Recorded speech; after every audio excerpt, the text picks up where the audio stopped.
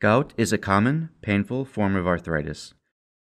Gout occurs when uric acid builds up in your body.